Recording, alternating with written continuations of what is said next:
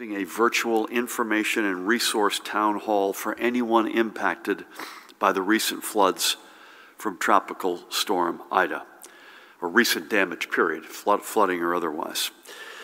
Please, um, uh, again, 10 o'clock Friday morning, joining Pat and me for this town hall will be representatives from FEMA, along with several members of the cabinet, including the Department of Environmental Protection Commissioner Sean LaTourette, Banking and Insurance Commissioner Marlene Caride, and Human Services Acting Commissioner Sarah Adelman. We'll also be joined by Dan Kelly, who heads the Governor's Disaster Recovery Office. We'll be taking questions and helping those who aren't sure of where to turn to navigate the programs available to them during what is certainly a challenging time, to put it lightly or mildly, for them and our state. To register, enter in that bit.ly URL that you see there at the bottom of the screen, bit.ly slash recovery town hall. Once you register, you'll get the Zoom login information emailed to you. And before we move on, we are anticipating some potentially severe weather tomorrow into Friday. A flash flood watch has already been posted for Hunterdon, Mercer, Middlesex, Morris, Somerset, Sussex, and Warren counties. So everybody please be safe and please pay attention to further weather alerts. Pat, I think you're going to have some more on that um, when we hear from you. Now, moving on, I want to give a quick breakdown of the most recent reports on school-related COVID outbreaks that are being tracked by the Department of Health. Currently, there are a total of 23 outbreaks that have been identified.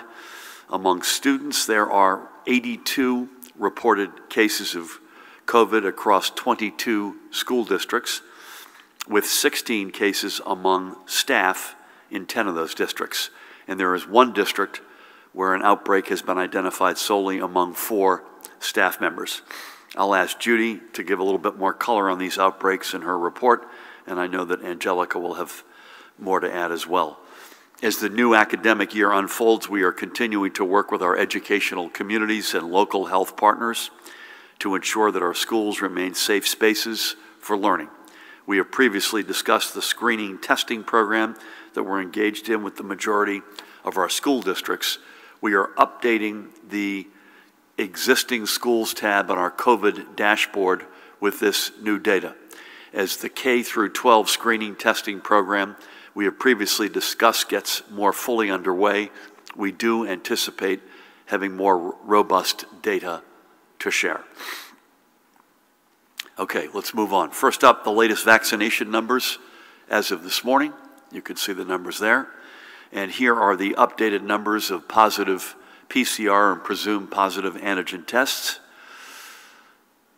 Looking to our healthcare networks, here is the on the ground reality lived by the doctors and nurses and associated medical staffs at our 71 hospitals yesterday.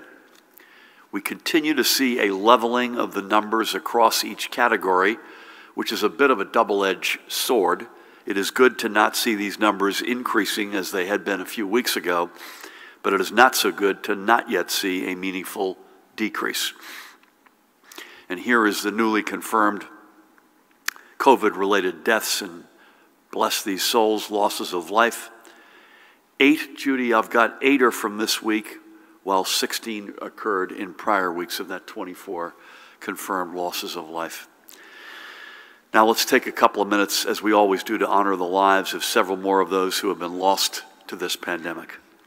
First up, let's remember this woman, Marietta Jean Jazikoff, who passed away on January 2nd at the age of 84. She was a longtime resident of the Waretown section of Ocean Township in Ocean County. Marietta was a CPA, having earned her degree at Georgian Court University, to which she remained an active and giving alumna. With her skills, she served as an auditor for the state of New Jersey, and she was an outstanding one. Away from work, Marietta had a deep love of travel, and her passport was stamped in more than 50 countries over the years, including a trip to Antarctica. But back home in Waretown, she enjoyed a slower pace, feeding the shore birds that would visit her. Marietta is survived by a longtime friend Wolfgang, with whom I had the great honor of speaking on Monday. He was born in Germany, so some of our conversation was in German. And she is also survived by her family and state government. We thank her for her service, and we know she's on another journey. And may God bless and watch over her. Next up, we recall a native and lifelong resident of Lakewood, John Franklin. He was 91 years old when we lost him to COVID on January 12th. John was a mason by trade, having gotten his start at the age of 12, and right out of high school, he started his own contracting business. But the Korean conflict soon intervened, and John closed his business to enlist in the United States Marine Corps. He served a year on the battlefields as a member of Baker Company in the 1st Engineer Battalion, and then one more year back home at Camp Lejeune with the 8th Engineer Battalion. He returned to Lakewood in 1954 and became a partner in a new masonry business and continued in the construction industry before joining the Lakewood Public Works Department in 1972. He retired from the township in 2010 at the age of 80. John was an active and respected member of the community, serving two years on the school board and another 28 as a member of the township committee, including five years as Lakewood's mayor. Even after his retirement, he spent another 10 years as a member of the Lakewood Planning Board.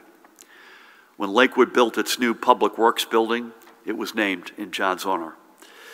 John was also a founder of Lakewood's Pop Warner Football League and a member of both the American Legion and VFW, the Elks, and fittingly, perhaps the Masonic Lodge, among many other community organizations.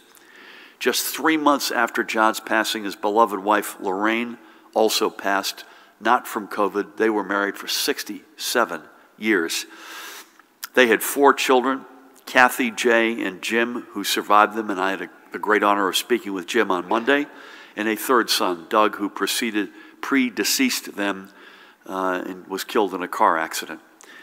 Uh, John was also predeceased by a granddaughter, Jalen, bless her, but his seven other grandchildren, Brian, Kyle, Andrew, Stephanie, Taylor, Jimmy, and Victoria, and seven great grandchildren all survive him to carry on his tremendous legacy of service. We thank John for all that he did across his years for our nation and the township and people of Lakewood. May God bless and watch over him. His son Jim wanted me to say the following, and I quote his son Jim. Pretty powerful. People who refuse to get vaccinated have never seen a family member die on FaceTime. It's awful. Again, that's John's son, Jim. I quote him again People who refuse to get vaccinated have never seen a family member die on FaceTime. It's awful. God bless you, John. And finally, for this Wednesday, let's honor Asbury Park's Elvira Lutz Vera, as she was known by many, was 85 years old when she passed on January 9th. As a youth, Vera was a model and locally was a recognizable presence every year at Asbury Park's Easter Day Parade on its iconic boardwalk. She wearing one of those great Easter bonnets. But professionally, she served in the secretari secretarial pool at Fort Monmouth for many years. Throughout her life, Vera always maintained a keen sense of humor and always showed kindness to those around her. She's survived by her two sons, Mark and Kenneth, and I had the great honor of speaking with Mark on Monday, and her daughter Allison, along with Mark's wife Lee, six grandchildren, Joseph Shannon, Shannon, uh, sorry, Joseph Shannon, Shannon, Kenneth Jr., Cassidy, and Olivia, and great grandson Carter. She also left behind her brother and sister in law, Carmen and Christine, along with her nieces and nephews and dear friends. May God bless Vera and watch over her memory and her family.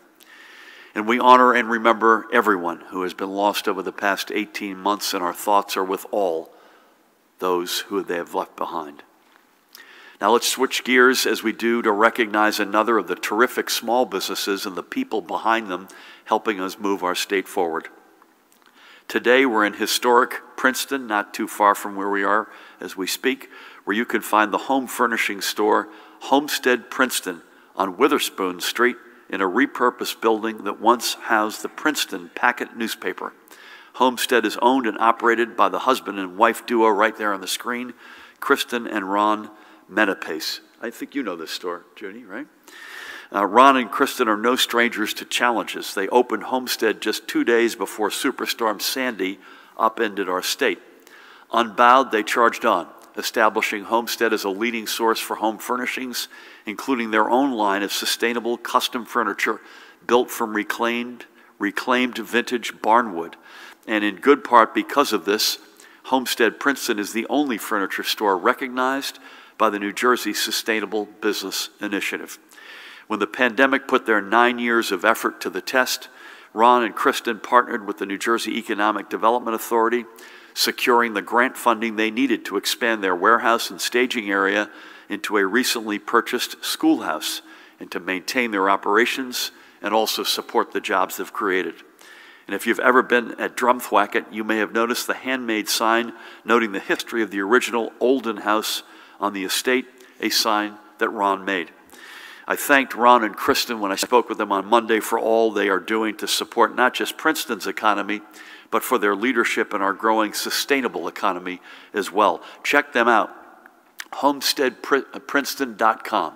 Homesteadprinceton.com. It is well worth it. And finally, for today, let's end on a positive note. I must give a huge shout out to this guy, Jersey City police officer Eduardo Matute. Last Saturday, Officer Matute was among the members of the Jersey City Police responding to a call that led to a standoff with a resident. That resident dangled a one month old infant over the second story balcony of an apartment and then dropped the baby. Springing into action, Officer Matute caught the child, who was unharmed and checked out at Jersey City Medical Center as a precaution. The man who dropped the baby, by the way, was immediately arrested on multiple charges. So thank you to all the officers to, who responded, but a special kudos is due to Officer Matute for his quick and sure hands that saved the life of that precious little child. And that's a good place to end today. Again, as a reminder that on Friday we will be holding a town hall specifically on our recovery efforts from the recent floods and I encourage everyone who has been impacted to join. Again, there's the information on screen, and we'll have links to register on all of our social media platforms. When in doubt, simply go to nj.gov slash IDA, nj.gov slash IDA. With that, Angelica, you ready to go? Yes. Please help me welcome the Acting Commissioner of the Department of Education, Dr. Angelica Allen McMillan. Thank you. Good afternoon. It is an honor, as always, to join you, Governor Murphy. The progress I am sharing today on the start of the 2021-2022 school year would not have been possible without the collaboration of our agencies.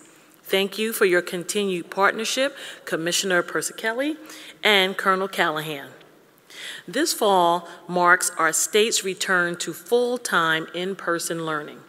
I want to acknowledge the difficulty of the transition for some. However, students and educators continue to demonstrate tremendous resolve in developing new tools and skills to adapt school environments that the public health emergency continues to demand of us. To all New Jersey students and all my fellow educators, I wish you an enriching school year. While our school systems rode forward out of the pandemic, prioritized the return to full-time in-person learning for all school districts and charter and Renaissance schools, we must recognize that COVID-19 continues to impact how students learn and educators teach.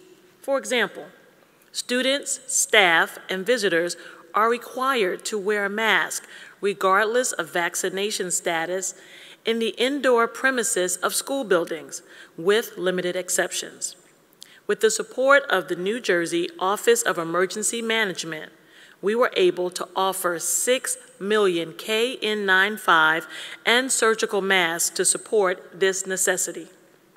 Additionally, by October 18th, all local educational agencies, non-public schools, and parochial schools must maintain a policy that requires all covered workers to either provide proof of full vaccination or submit to COVID-19 testing at minimum of one to two times weekly. In instances where individual students, groups of students, or entire classes are excluded from school as a result of meeting COVID 19 exclusion criteria, local educational agencies are strongly encouraged to immediately provide virtual or remote instruction to those students commensurate with in person instruction. As announced in June, the administration released and continues to update health and safety guidance detailing recommendations designed to provide a healthy and safe environment for students and staff during the 2021-2022 school year. The department has taken several steps to support school communities as well. Next week, local educational agencies can begin applying for the first installment of their American Rescue Plan elementary and secondary school emergency relief funds, also known as ARP ESSER funds. New Jersey received a total of over $2.76 billion of these funds. The grants supplement the funds made available previously and provide targeted support for learning acceleration, summer enrichment, learning supports taking place outside traditional school hours, and mental health supports. We continue to work closely with Commissioner Persichilli and the Department of Health to support their K 12 screening testing program. This is a $267 million program designed to assist participating local educational agencies and non-public schools with screening testing plans.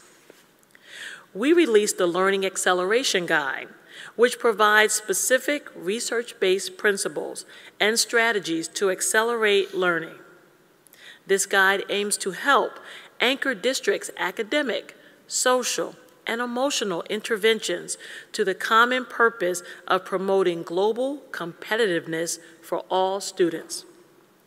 As students return to in-person learning after many challenging months, it is critical to address the mental health and well-being of students and staff.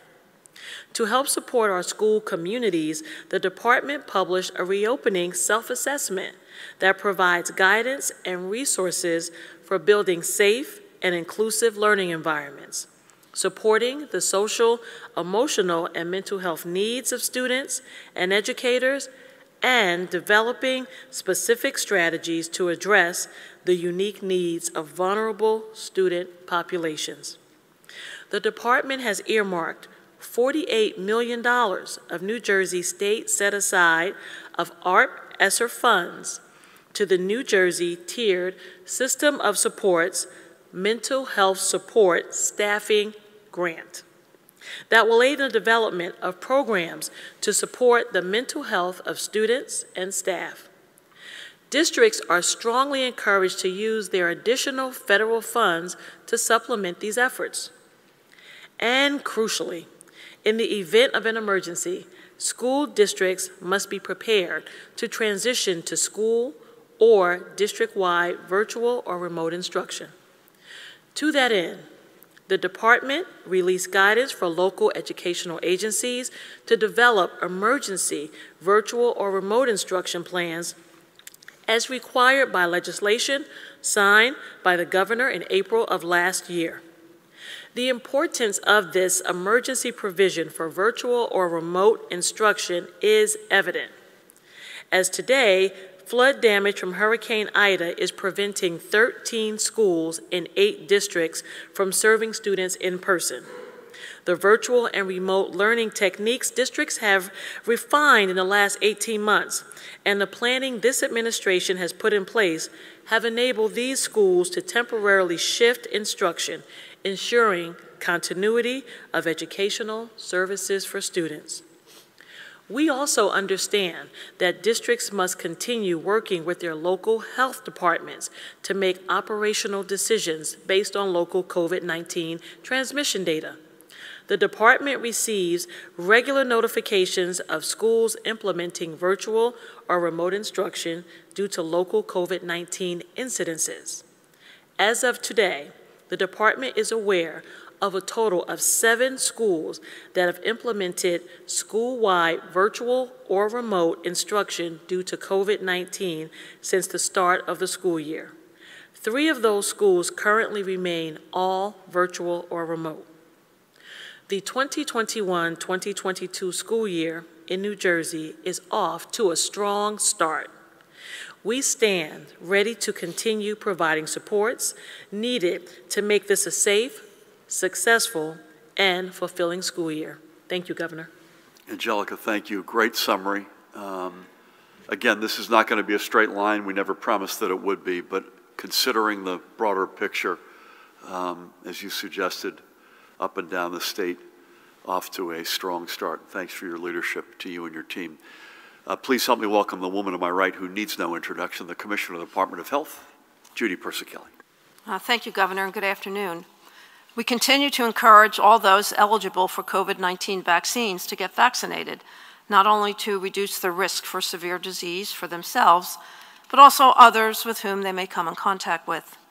Currently, 59% of individuals 12 to 17 years of age have received at least one dose of vaccine. The percentage is higher among those 16 and 17 years of age at 68 percent. Among those 12 to 15 of age, 55% have uh, received at least one dose of the vaccine. We'd like to see that number higher, uh, particularly for this age group, especially because they come in contact with children who are currently too young, not eligible to be vaccinated. Vaccination is a vital tool that has been used to keep our schools safe for many years. Right now, for children to attend elementary school, they need to be vaccinated against chickenpox, polio, hepatitis B, measles, mumps, rubella, whooping cough, diphtheria, and tetanus. And as they get older, they need also to be vaccinated against meningitis to protect their health. Thankfully, the COVID-19 vaccination is available to those 12 years and older to help reduce the risk of COVID-19 transmission to their loved ones, their neighbors, and their schoolmates. High vaccination rates, along with testing and a layered prevention approach that includes masking, frequent hand washing, physical distancing, and staying home when you're sick, is important to protecting students and staff from COVID-19. As I've shared in the past, 267 million in federal grant, uh, grant funds uh, are available to assist local educational agencies and non-public schools with implementing COVID-19 screening testing for students and staff in K through 12. We are pleased that 758 public school districts and non-public schools have signed up for the screening testing program. This covers 552 public local education agencies, 206 non-public schools, representing a little over 1.4 million students and staff. This large number demonstrates the commitment of schools to keep their students and staff safe. School districts are encouraged to report weekly to the department on student and staff case counts, as well as information on vaccination rates for students and staff.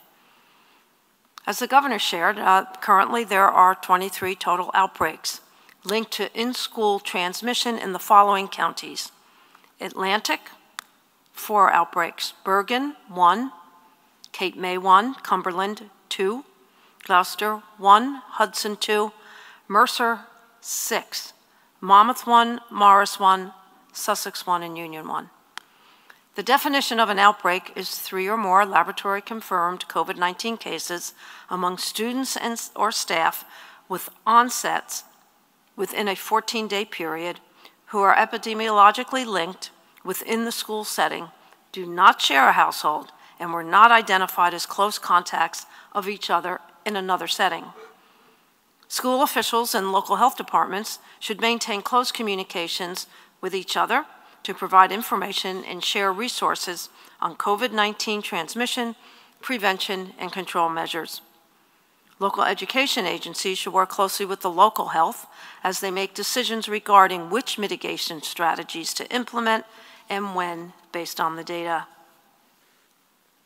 As COVID-19 is still circulating in our state, we know strong infection prevention efforts will be vital in reducing transmission of the virus. To support infection prevention and control education uh, among healthcare personnel, the department is awarding 800,000 in funding to the New Jersey Hospital Association, the Healthcare Association of New Jersey, Rutgers Project ECHO, and the New Jersey Association of County and City Health Officials.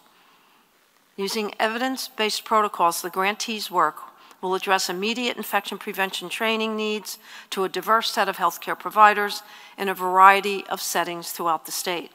Each grantee is tasked with offering a targeted focus on their organization's area of expertise, servicing long-term care and nursing home professionals, acute care providers, and local health departments. Building a strong foundation for infection prevention at every level of healthcare remains a priority for New Jersey. We are pleased to help support these organizations to ensure that infection prevention basics are taught in a variety of healthcare settings to a wide range of personnel. On to my daily report, the governor shared our hospitals reported 1,152 hospitalizations of COVID-19 persons and persons under investigation. Thankfully, no new reports of multi uh, inflammatory syndrome in children. Uh, no children are currently hospitalized with MIS. At the state veterans homes, there's one new positive resident case uh, among residents in the Vineland home. And at the state psychiatric hospitals, no new cases among our patients. The percent positivity as of September 18th for the state, 6.52%. The northern part of the state reports 5.52%. Central 7.62%, and the southern part of the state 7.65%. That concludes my report. Please continue to stay safe, get vaccinated to protect yourselves, our family, friends, and our children. Thank you. Judy, thank you. Two quickies. The positivity rate obviously is higher than we want it to be, but importantly, this is also a day where it's from a weekend, yeah. which was Saturday the 18th, so it's even higher than the it's been bouncing around 5%. It's up closer to 6.5 today. Secondly, I mentioned in my remarks, good news is uh, numbers don't feel like they're going up at the rate they were, but the bad news is they've not yet started to come down. But if you just look over the past week at three different numbers to prove that point, total hospitalizations a week ago, 1,155, today 1,152. Uh, ICU beds occupied 275 a week ago, today 267, so a little bit of an improvement. And ventilators a little bit going the, the, the wrong way, 136 a week ago, 144 today, but in a range. Uh, let's hope they start to not just be in a range, but that they start to come off. Thank you, as always, for everything. Pat, good to have you. We got some nasty weather coming. Uh, any more color on potential flooding? I mentioned the counties. You may want to hit that again. Uh, we've got the town hall uh, Friday morning. We had a crazy big fire in a junk heap, uh, it looks like at Port Newark uh, today. I checked in with a bunch of folks up there. Any, any update you got on that? Over to you, sir. Thank you, Governor. Good afternoon. Uh, with regards to the weather, the highest risk is going to be tomorrow uh, in the northern part of the state. We're looking at uh, heavy rains, uh, damaging winds, localized flooding, probably starting around noon tomorrow, and then around maybe two or three in the afternoon for the southern part of the state. Uh, that will include thunderstorms, and I will echo the seven counties that are currently under a flood watch, Hunterdon, Mercer, Middlesex, Morris, Somerset, Sussex, and Warren. Um, the fire, yes, that was a scrapyard fire up there in Port Newark on Calcutta Street. No injuries, which I'm glad to report. It was a one-alarm fire, and Newark OEM has not requested anything from us, but has certainly uh, kept us aware, and we're monitoring that. And on a, um, an unrelated note, but I think one worth mentioning, was a, a, very productive meeting I had this morning with the new director of the ATF who came up from Washington, D.C., Marvin Richardson. Uh, we already have a phenomenal relationship with the ATF and what our crime gun strategies are. Uh, and out of his mouth, he says the rest of the nation looks to New Jersey as the gold star and a model to be replicated with regards to our strategies, which are obviously ongoing. Uh, but I was uh, honored to meet with them and comforted to know that we'll be shoulder to shoulder with them moving forward in everything we do to combat uh, illegal guns and- gun violence in New Jersey. Thanks, Gov. Pat, thank you. They've been terrific partners from, from day one. Um, That fire, by the way, there was at one point, it- the- given the way the wind was blowing and the, and the fact that they hadn't gotten their arms around it, the visibility uh, potential on the, or lack of visibility on the turnpike was at risk there, but thankfully, it- it, uh, at least as of, the- when I walked in here, that, that was not the case. And again, keep, keep tuned to the weather. Um, You know, we're in this, we're in this spin cycle right now. We know the, the ground has been moistened. It's, there's probably more instability than normal. These things are coming more frequently with more intensity. Um, let's all, you know, we, we don't want to cry wolf here, but make sure you're taking the warning seriously, everybody. So we're going to be in the, in the two-a-week cadence again next week, unless you hear otherwise. So we're Monday and Wednesday at 1 o'clock right here. Uh, So we will see you then. We're a under a little bit of time pressure today, so let's spin through some questions real quick. Mike, we're going to start with you. Good afternoon. Good afternoon, Governor. Thank you. I just wanted to return to the uh, notion of a postmortem on the handling of the pandemic. You said Monday that one reason not to do it now is because we're still in the middle of it. I wanted to follow up and ask, um, you know, isn't it the case that the pandemic is, you know, there's not necessarily going to be a finish line? Um, So why not give voters a look at what went right and what went wrong ahead of the election? And just uh, sort of a detail question, who, who will be conducting that um, for the administration? Is that going to be the Health Department? Will that be the Office of Disaster Recovery under your office? Um, Thanks, that's all I got. N- Not a lot to add to what you and I talked about on, on Monday. Um, You know, when you have, even though the hospitalizations, as Judy and I were just talking about, 1,152, we know where we, where we were three months ago. Um, That is where we hope to be again. And, and clearly, we've said this countless times, unless my medical colleagues disagree with me, this thing's going to be with us, per- perhaps for the rest of our lives. Uh, and I personally think of this as a as a, a- a- a flu bad flu season reality, uh, perhaps at a minimum.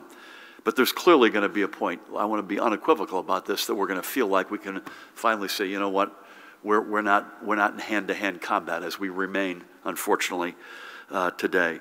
Uh, and, and, and Mike, no decision on who would be, be uh, involved in leading it, but if I have my druthers, it'd be a third party. It wouldn't be anybody uh, associated uh, with our team. I think that gives folks the, the best sense that, that somebody was calling balls and strikes. And most importantly, forget about what, uh, you know, eh, the, the most important thing here is to learn from this for all of us to figure out what we need to do better or differently in the future. Thank you. Let's come across to Matt. Matt, how are you? Good afternoon. Uh, Does the state plan to release a total number of students and staff who have been tested positive in schools, not just the outbreak totals? Uh, And, you know, do you think it's possible that the increased transparency about uh, students and staff cases, not just the outbreaks, can inform uh, people who have not yet decided to get vaccinated?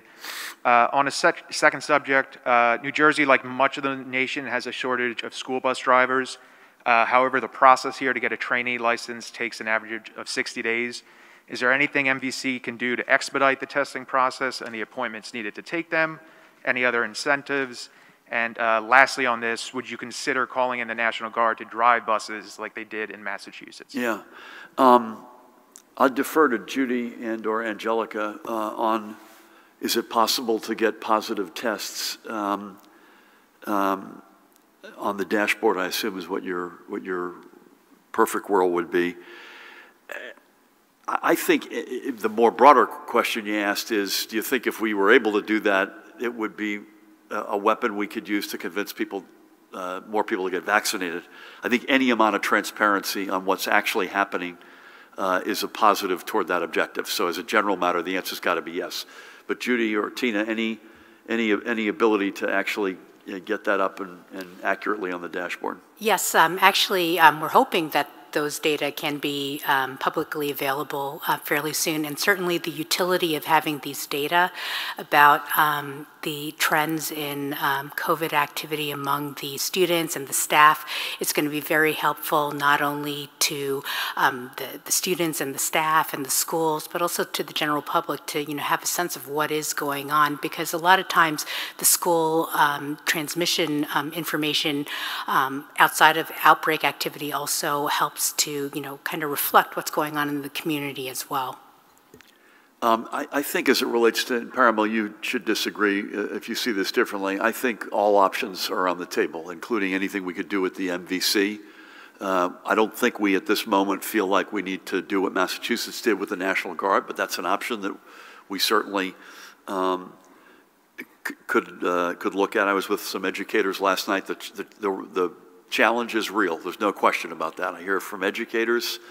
Uh, Angelica, you must hear it uh, a lot uh, from moms and dads. Um, and so I'd say anything that we think we can do that, that preserves safety. I mean, early on in my time as governor, we had a horrific um, accident in with a Paramus uh, school. Not it wasn't in Paramus. I think it was in it was in Morris County, but kids at a middle school in Paramus, and we just got to make sure in our striving to get full capacity, we don't cut any corners in terms of safety. So.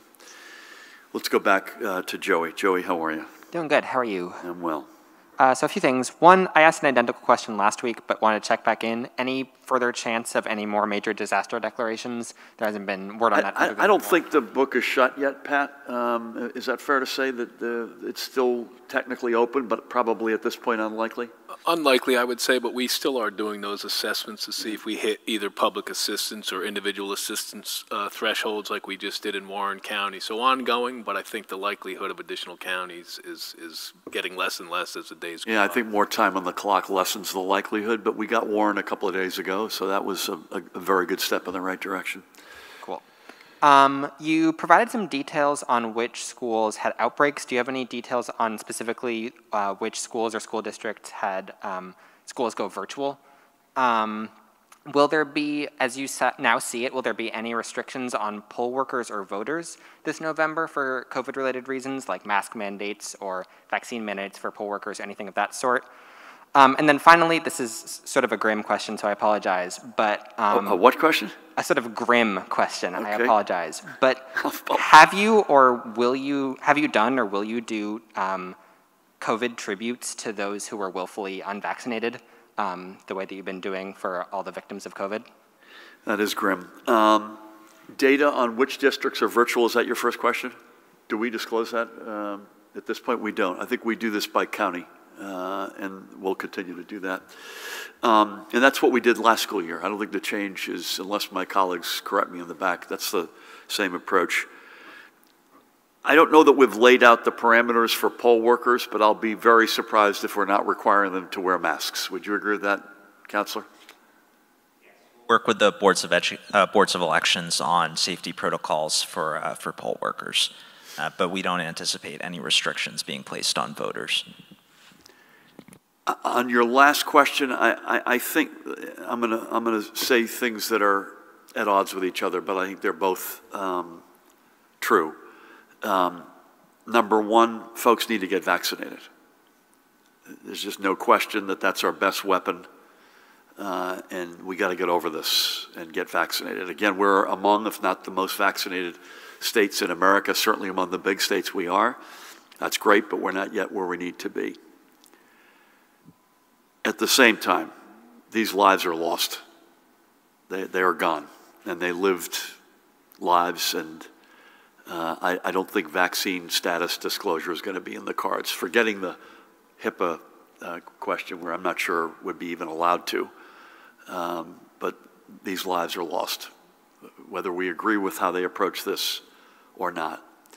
It happens, I believe, each of the individuals, unless my memory is failing me, that I spoke to today died early on uh, in, in, in January. I think all three of them did. But that's where I think we'll leave it. Thank you. Uh, Sam, is that you? Yep. Okay, fire away. Uh, First couple of following up on Matt's questions here. Uh, Would you like to see districts standardize how they present their COVID-19 case data? And is there any directive or EO in the works to do that? And then uh, separate question, uh, your EOs requiring vaccination or regular testing can hit violators with uh, disorderly persons charges? So Who did, sorry? Your uh, executive orders Yep. requiring vaccination or testing can hit violators with disorderly persons charges. Um, Only one in effect right now is the one applying to healthcare workers, correctional workers, et cetera. But have there been any enforcement actions taken to date to enforce that order? To the best of my knowledge, no, but I, I'm going to defer again to Parimal or Pat. Circle back with you, uh, but you are correct that violation of the executive orders would be a disorderly persons offense. Um, And we'll come back to you if there's any that, uh, that I'm not aware of. In terms of standardizing the data that we get out of districts, and I assume this is anything related to COVID, right? So, ca- cases, et cetera. Any, any thoughts on either side of me here? Tina, we get, we get, get- make sure we get your money's worth out of the visit Hi. today. The, the answer is always yes, because, um, you know, anytime that we present our data, whether it's on outbreaks or on our cases, um, they follow um, general criteria for, you know, how we define uh, an outbreak. So, for example, the commissioner went over how we defined um, in-school transmission. Similarly, for um, our data collection from the schools moving forward, particularly as the um, school screening testing program gets on, on board, there's, a, you know, standardized ways that, you know, we are asking schools to present that information. And it's not just for the school screening, it's also for, you know, that individual um, reporting of the um, students and um, staff data that we're um, in the process of collecting. Thank you, Tina. I got this uh, on uh, school buses from Sue Fulton, as usual, uh, watching us. We schedule school bus driver appointments within a day or two. All school administrators should have our direct contact information by now. School bus driver permits and testing are managed on a concierge basis outside the online appointment system. Hope that helps, and we can follow up. Matt, you asked that, right? We can follow up with you and Sue if, if need be. Uh, Alex, good afternoon. Good afternoon, Governor. Dr. Tan, can you tell us how many children under five have contracted COVID 19 since the pandemic began, if you have those numbers? Several months ago, Commissioner Persichilli said that children were not the vectors of the virus that you expected. Is she correct? And if so, why the masking order for children in daycare over the age of two? Commissioner, we uh, heard the governor talk about some trends uh, that are going in a positive direction. Can you elaborate a little bit? Can you explain how a difference of eight people on ventilators or not on ventilators is significant or is it not? And we hear about these magic moments where the pall will be lifted and we'll be free of the virus. We've been waiting for that since May of last year. Will that ever happen? Governor, on the questions on a post-mortem, in your words, of looking into the origins of COVID-19, where is the progress of the Attorney General's review into the nursing homes that you ordered last year under then Attorney General Grewal? And will you commit to releasing the results of that review before Election Day? I'd also like to ask you what you think about the criticism of your masking order for children in daycare. Do you think parents are overreacting? Is it more of an argument about unworkability, or is it an ineffectiveness argument that you think uh, rings true for, for you if the numbers of children that have contracted COVID 19 are relatively low? And for Dr. Allen-McMillan, for my colleague Walt Kane, sorry, I have to read this off the phone, I don't memorize it. Statistics show continued inequalities in New Jersey's education system. For example, black students are more than five times more likely to be suspended than white students, and black and Latino students are underrepresented in AP classes. What is the New Jersey Department of Education doing to make the system more equal? Let me start uh, on a bunch of these. And Tina, I'm going to ask you to weigh in here, uh, and perhaps um, Judy as well. I'm going to skip to the trend question first. I'm going to go out on a limb and say just because ventilators are down uh, or, or, or ventilators are up a couple and ICU beds are down a couple, I do not. I, think the trend is right now, as we've said, we're, sort of in a range bumping along. That would be my guess. I don't think there's any break I don't want to use the word breakthrough, but in this case, that there's no breakthrough um, yet. Although that's it's encouraging. As I say, good news, bad news. Good news is it's not going down. Um, I've been waiting for the same Time, you're, you're, you're waiting for it. We all want that. We actually thought, I think, as a nation, probably as a world, but as a nation, that we were there around in that window between Memorial Day and July 4th. And I believe that we'll get back to that. Uh, we were talking about this a couple of minutes ago, uh, but we're, we're not there yet. We're still in the fight. And uh, again, this thing is humbling. Uh, anybody who's associated with this, every time you think you got it figured out, it takes a turn, and eight out of 10 of them are negative. Um, nothing new to report unless Parimal does on the AG's report on long-term care, and I'd be shocked if it weren't made public, and I have no idea on the timing. I've got no insight into that. Would you agree with that? That's correct, Governor. The Attorney General's investigation uh, into long-term care facilities is an independent investigation. We Yeah, don't we have have no, into we have nothing, no, no insight on that one. Um, You've got a bunch here that were not in the exact order, but they sort of come back to the same thing. What's the, the the cumulative total of infections or positive tests for kids under five? Are, can, can kids get sick? Can they infect others? And how do we feel about the, the masking of daycare, particularly for young kids? I'll just repeat on, on, on daycare, and then I'll turn it to, to Judy and Tina to, to fill in here. We're, we're doing nothing different than the CDC guidance, and all of our neighbors, we're all doing the same thing. Uh, now, does that make it mean it's easy that someone else has found a magic weapon to be able to get a two-year-old to keep a mask on? No, we, we recognize that the daycare providers and staff, you know, are, are, have to work uniquely with that challenge, and we can totally appreciate that. But we're doing just at this point what the CDC recommends, what our neighbors, neighboring states are doing as well. Um, anything you want to add to? Uh, I'm not sure we know cumulative cases sitting here for folks under five. Do we have that, Tina?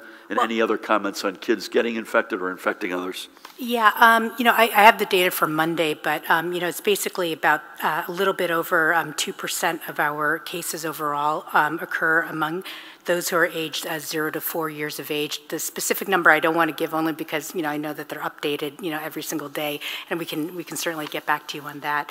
Um, you know, as far as, um, you know, the, the risk to um, individuals in the community and, and children, anybody um, who is um, unvaccinated, you know, always potentially poses a risk of transmission of um, SARS-CoV-2 to um, the entire community. And, you know, that's why, you know, we always are encouraging individuals to, uh, who are unvaccinated to continue to wear masks and to also um, take the appropriate precautions to try to minimize um, spread, inadvertent spread, uh, in particular to um, others um, uh, in the community, particularly those, um, you know, who might be more vulnerable to serious illness. Tina, thank you. Judy, anything you want to add? I think we have to keep in mind that we monitor uh, multi-inflammatory syndrome in children. Every single one of those children have had COVID, and we had 133 cases, uh, uh, with a majority of them in the hospital at some point in time. And we have had seven deaths of uh, individuals 18 years and younger uh, from COVID uh, in, the, in the state. Um, so that's something we look at every day. Uh, Any death, um, as the governor said repeatedly, is awful, but it's certainly uh, more alarming when it's a child. Amen to all. Angelica, I'll just make the observation that um, there continues to be, we've said this many times, uh, I say it almost every, every single day, that the pandemic did not create the inequities in our state, but it's laid them bare, and among the inequities are in education. Uh, it's the animating reason why we plow the resources that we do into underserved communities and, and continue to try to move that needle in the right uh, direction. Uh, you know, we're digging out of, uh, depending uh, on what you blame, and it's probably a combination of things. In the criminal justice system, at least, it's the war on drugs over the past several decades. It's early years of the fifth century since slavery came to our shores in North America. Um, but it, there's no question the inequities exist, and there's also no question that we throw an enormous amount of resources, financial and otherwise, at trying to shrink those inequities as much and as fast as we can. Angelica, anything you want to add, please? Uh, Thank you, Governor. I'd like to also add our work on creating clearinghouses that allow school districts to learn from one another. It is critical in this public health emergency era that we're living in, that districts are able to share, to partner, and to join together to address some of the inequities that you have mentioned. So we stand with districts in moving forward, and we believe that these tranches of funding from the federal government, along with the increases provided by Governor Murphy over the years, will continue to help us make inroads. Thank you for that. Sir, you're up to bat. Good afternoon, Governor. I, th- I thought you were going to say that you didn't have any today. No, unfortunately, I don't get the 20. Okay. Uh, from Brenda Flanagan, uh, the child care industry is facing backlash over your mask and vaccine mandate while also experiencing staffing shortages. Meanwhile, New Jersey has yet to distribute roughly $700 million in federal American Rescue Plan funds intended to help their companies. When will that money be made available? And a question from Leah Mishkin. Passaic County is considering closing its jail and potentially consolidating with Bergen County. What do you think are the pros and cons of county jails merging? Thank you.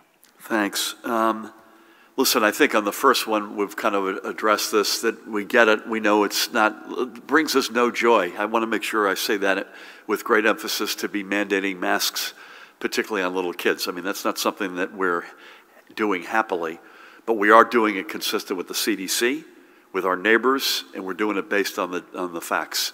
And by the way, we're doing it not forever, please God. Uh, in terms of distribution of, of resources, we're getting money on the street. We've put a ton on the street already, and we're getting it on the street as fast as we can. So there, there, there's no uh, holding back, assuming we can, we can do that, and we continue to do that. And my guess is folks should expect more um, of that and not less. Um, I haven't been asked the question before about consolidation. I mean, you want to make sure you do something like that the right way, uh, that you do it with respect to the folks who are uh, incarcerated in those uh, facilities, as well as to the staff and members of law enforcement and corrections officers who serve them and, and protect those facilities. Um, so I don't have any visceral yay or nay, um, but uh, if, if there is a good, positive reason to do it, and it can be done safely and smartly from a budget standpoint and is not taken out on the backs of public sector employees, which too often happens when you have mergers, then that may be a good thing to pursue, but I don't have any specifics on the details. Thank you. Dave, you're bringing us home. Thank you, Governor. First, for Commissioner Allen-McMillan, um, you mentioned emergency relief funds can be applied for next week, and you pointed out uh, this includes the mental health for students and uh, educators as well. Um, could you give us a little insight? Uh, what does that mean? Is it going to be one-on-one therapy? Would it be group therapy? Would it take place in school, after school, on weekends? Do, would, would the students go somewhere for this? Would they bring them into the schools and so forth? Um, you a couple of times mentioned the diff uh, if a school has to be remote or virtual. What's the difference? Um, you also mentioned, I think when the question came up initially, that you do not disclose which districts are now all virtual because of COVID. Could you explain why not? Why you don't give this information? And um, I'm sorry, uh, with regard to the emergency funding, besides the mental health assistance that is being, uh, will be made available, could you explain just in simple terms what else, what other kinds of services schools will be able to offer and how they'll be able to use this money for what specific kinds of things? Uh, Governor, there are literally no MVC appointments for teen drivers right now to get their licenses. This is causing hysteria in the teen community, I understand. Your reaction? And not to belabor the point, but if a parent, for instance, or a daycare worker goes in and sees a kid not wearing a mask, or they put the mask on the two year old, the kid is running around, rips off the mask immediately. Um, is there going to be a warning given? Will there be a penalty?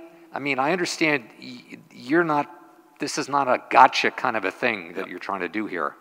I think you've explained why you're trying to make sure this is incorporated. Yep. But, you know, is there going to be any teeth to the EO?